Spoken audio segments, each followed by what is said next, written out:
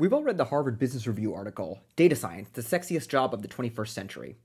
The authors actually released that article about 10 years ago and have now released a 10 year look back, taking into account what the modern data industry looks like with all the developments we've made in the last 10 years.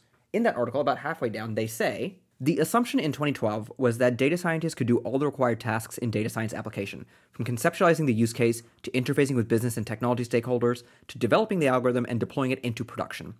Now, however, there's been a proliferation of related jobs to handle many of those tasks, including machine learning engineer, data engineer, AI specialist, analytics and AI translators, and data oriented product managers. LinkedIn reported that some of these jobs as being more popular than data scientists in its Jobs on the Rise reports for 2021 and 2022 in the US. Basically, in the last few years, companies have realized that if you throw all the work of an actual data project onto the data scientists, they get really bogged down in the data cleaning and data preparation steps of that process. And that's where the rise of the data engineer came into effect. A data engineer is a software engineer whose primary job is to make sure that data is warehoused correctly, stored correctly, is ported in correctly, and made clean and ready for data scientists and data analysts to analyze said data. They do this using various tools, from SQL to Python to Java based languages. So let's say you want to become a data engineer. What do you do? I myself started off as a data analyst, and I made sure that my coding skills were up to snuff, and I made sure that I was doing a lot of coding in my job. That way, when a job opportunity opened up, when an interview opportunity opened up for me to interview as a data engineer, I was ready to take advantage of that opportunity. The path I want to talk to you about today is the Meta Database Engineer Professional Certificate by Coursera. To be very clear, this video is both sponsored by Coursera, and not all of the courses in the certification are available right now. Some of them will be available as late as January 2nd, 2023. But with three courses available today, and with two more becoming available in about two weeks on September 19th, there's more than enough content for you to get started and to have enough content to go until the January 2nd courses become available. So you guys know my channel is not just some theoretical channel. It is committed to helping you guys get jobs. So to that extent, I'm very happy that Meta actually has a job board specifically created for people who graduate with this certification and the other professional certifications that they have. According to Meta themselves, Meta is committed to helping certificate holders get hired. Upon earning a Meta certificate, learners will get access to the Meta Career Program's job board, which is a job search platform with 200 plus employers who have committed to sourcing talent through Meta certificate programs. Currently, it seems like a lot of the jobs available are more for front end web devs and for people who have graduated from the other meta certification courses. But I expect more data engineering jobs will become available as the certificate goes fully live by January 2nd. So now let's go through the actual course material, and I'll comment on what I think about it as a practicing data engineer, what I think could be added, and what I think they did well, and you can make a decision as to whether this certification course is the right one for you. There are a couple of core skills you'll want to focus on in order to become a data engineer. These include SQL, Python, JVM based languages, Bash, and cloud services. In this course, you will learn how to query data really well using SQL, like a data analyst or a data scientist, using something called DQL or data querying language. And you'll also learn how to model uh, both data warehouses and actually insert data into databases using something called DML or DDL, data modeling language, and I think it's data uh, definition language, like a data engineer would. Both of these SQL skills are very important to have in order to become a data engineer. SQL and best SQL practices are covered in courses 1, 3, 4, 6, and 7. I'm really glad that the course spends so much time on SQL because SQL is probably the most used technical skill for any data engineer. And the great thing about SQL is even if you don't use it, if you decide not to become a data engineer, the skill itself is very useful even for people who decide to work in business or as a software developer or as a data analyst or data scientist. One of the most important skills that a data engineer can develop in order to increase their uh, pay and their desirability on the job market is the ability to program. And when I say program, I mean using it, uh, programming using a language like Python. Programming allows you to do more complex data manipulations and use distributed computing frameworks in order to process large amounts of data. It also allows you to build out data pipelines and create bespoke data apps for your data scientists and your data analysts. And so I'm glad that they are using an introduction to Python programming course in this because Python is now a first class citizen in the world of data engineering. Because of things like PySpark, you can now use Python to do a lot of the work that could only be done with JVM languages in the past. Speaking of JVM, JVM or Java Virtual Machine refers to the actual virtual machine that runs Java based code. So Java is a programming language, and a lot of the distributed computing systems in data engineering have a Java backend to them, specifically Scala based. Learning Java is not something that I would expect out of a entry level data engineer, and it is not covered in this course. So I will say that is one thing this course does not cover. I'm actually kind of glad that they don't though, because the combination, let's say you're completely brand new, and this course is built for people who have no experience at all, right?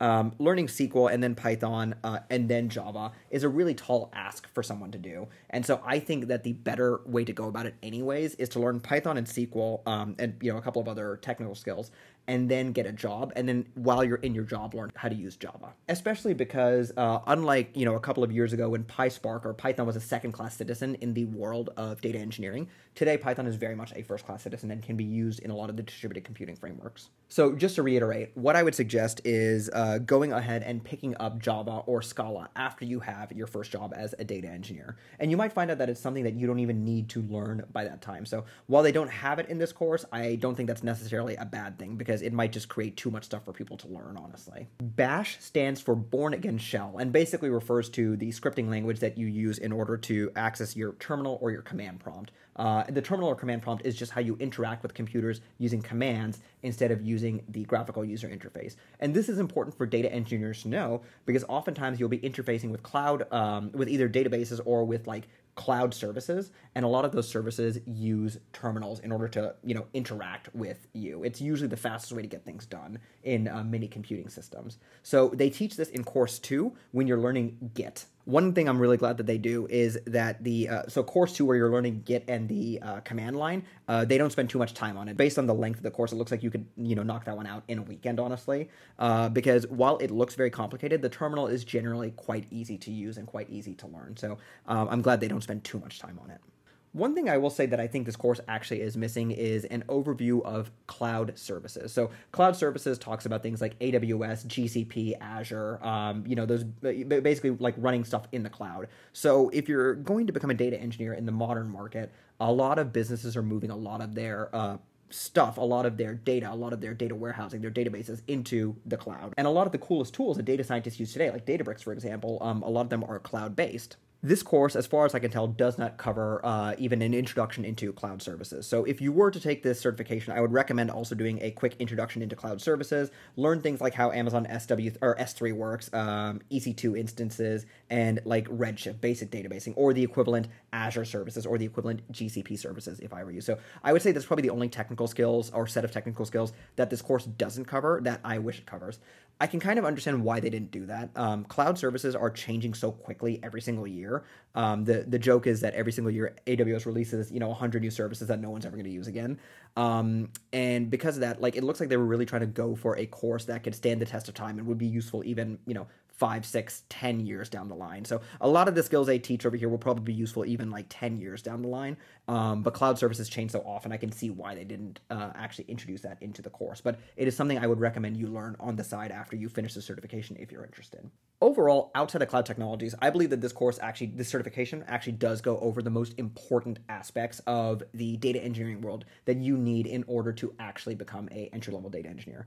And I need to reiterate an entry level data engineer there is obviously a lot more um, like if you if you went and showed this to a professional data engineer they might say oh there's so much more that you need to know you know like maybe you should know a jvm language. But i think that making a good course is about striking that balance between providing enough content for people to feel like they're learning a lot um, and to actually learn a lot but not teaching them so much that um, they don't actually complete the course. I would not be surprised if a lot of these courses just don't have great completion rates because a lot of people pick stuff up and just immediately drop it. So um, I think they struck a pretty decent balance. I wish there was an introduction into cloud technologies, but you know you can always pick up that stuff on the side, and I'll probably release the video on this channel where you can learn that as well. So I need to be very clear outside of the jobs on the job board and the 200 plus companies that have committed to sourcing talent from these uh, from the certificate holders in this coursera course a certification is not something that most companies really care about in the industry of data engineering data science or data analytics. An exception does need to be made for like the aws certifications the gcp certifications and the azure certifications given out by their respective companies. Unlike a lot of other people though i don't believe certifications are useless. I think they serve one of two major purposes. One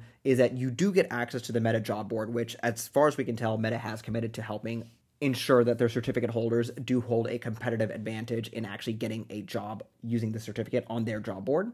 And two, a certificate is a very concrete achievement, and it is an achievement in my opinion, but it's a very concrete uh, objective or achievement for you to strive for in order to actually finish a course. I would not be surprised if most courses, most online courses, um, even if they are completely free, have lower than 10% completion rates. I actually have a video, and I, I have quite a few videos, where um, I provide the code for people in order to actually like code along with me, right? Coding is not a spectator sport. You need to code a lot. Like you need to be typing out stuff in order to understand what's going on. And I can tell you for a fact that of the number of views I get on those videos, fewer than 1% of people actually ever download the code. I have a tracker so I can determine, like I can see how many people have actually like even clicked on the link. And it's fewer than 1%. Most people um, passively watch courses and don't actually uh, commit to learning the materials inside the courses. A certification can help ensure that you do commit to that. For me personally, I have a Google TensorFlow certification, and while the certification itself did not help me get a job, it did force me to learn the skills to where I can confidently say I do know Google TensorFlow right now. One really cool thing about Coursera is that they allow you to audit their course for free. Auditing course, just like in college, means that you get to get all of the learning materials, but you don't get to do the actual assignments and you don't get the certification. But you can do all of the learning materials, the videos and stuff, for free. Uh, and so I highly recommend trying this out prior to actually buying the course. If you want to buy the course, you can buy the certification for 49 US dollars, or you can buy it on Coursera Plus, where you get access to this course along with 7,000 other courses, including the excellent Google Data Analyst Certification course for $59 a month or $3.99 a year. Coursera will be running a promotion very soon, link in the description below with some details, that will allow you to get the subscription for Coursera Plus for $2.99 instead of the normal $3.99 per year. I do highly recommend checking out the uh, course through an audit first, but if you are so interested in checking out the course, please use the link in the description below as I get a small commission for that and it doesn't cost you any extra and it's a great way to support the channel. Also, if you live in cities like New York, then the uh, Department of Learning sometimes has a, a, deal with Coursera where they will help fund your learning for free, um, especially if you're unemployed. So make sure in, uh, that your city or state government uh, doesn't have a benefit for you to use Coursera because Coursera does team up with a lot of cities and states to help offer their resources like the actual certification for free. If you are interested in doing the certification, feel free to click on my link in the description below. It is an affiliate link. I do get a small commission off of it. Um, it does not raise the price on you at all. It's just a way to support the channel and show um, sponsors like Coursera, who thank you so much for sponsoring this channel, that uh, my channel is a great way for helping people uh, helping people discover new ways that they can learn. Thank you guys so much for joining the channel today, and I hope you have a good day.